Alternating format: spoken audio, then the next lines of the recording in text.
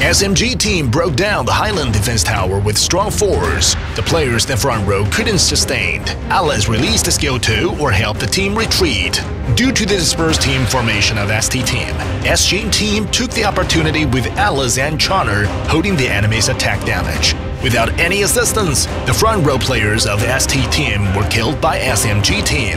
Lubu and Joker from SMG team chase after the enemy until the victory.